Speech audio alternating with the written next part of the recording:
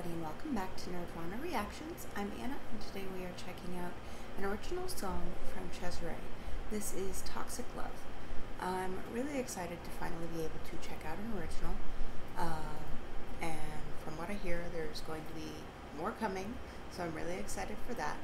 Let's go ahead and get into this. If you enjoy the video, please like, comment, subscribe. Be sure to check the description box where you'll find the link to the original video, as well as my Cash App, Patreon, and all my social media. Alright, let's get into this.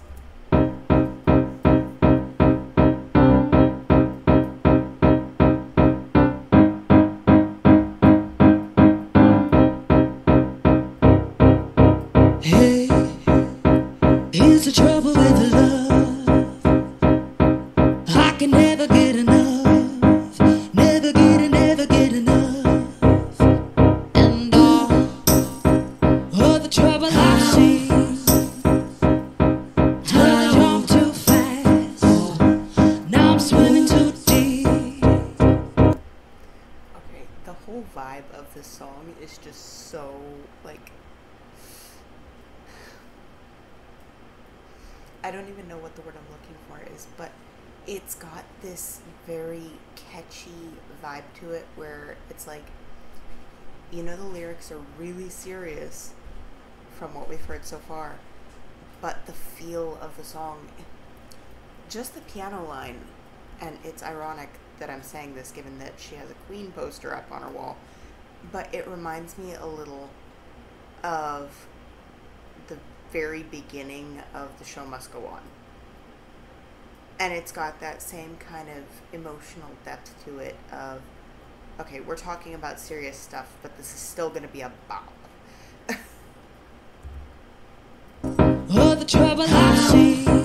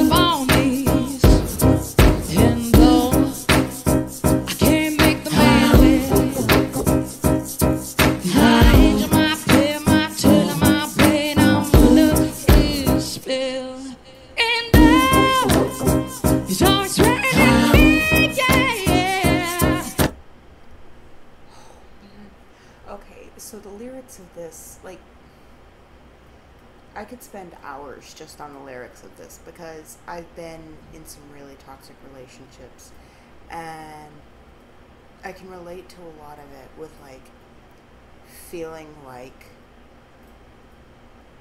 you're basically being hoodwinked by your partner, but also feeling like you can change them. And I loved the Bonnie and Clyde part. I loved, like,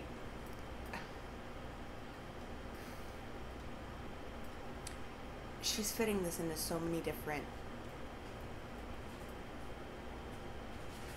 almost like allegorical senses. But at the same time, oh, I just, I think it's important for me personally at least to remember that there's always something better out there. And that if you're worried you're going to die alone because someone has you so convinced that no one else will love you.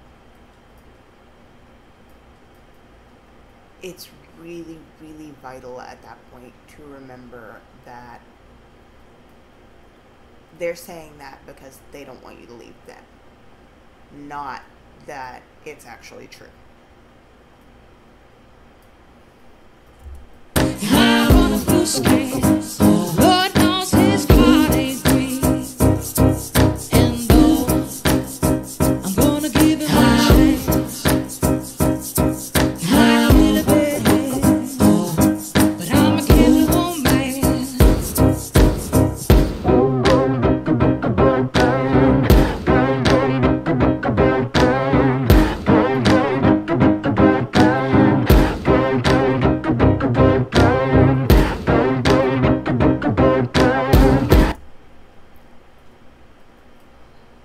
See, that's exactly what I was talking about. What just flashed up on the screen there?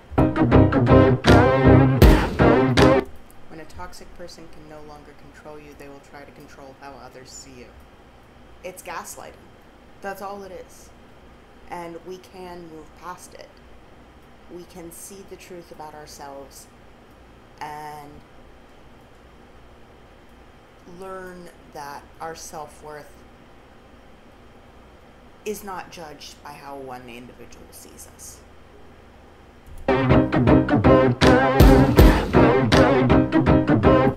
Misinformation will feel unfair, but you stay above it. Trusting that other people will eventually see the truth just like you did. I don't know who Jill Blakeway is, but she's clearly very smart.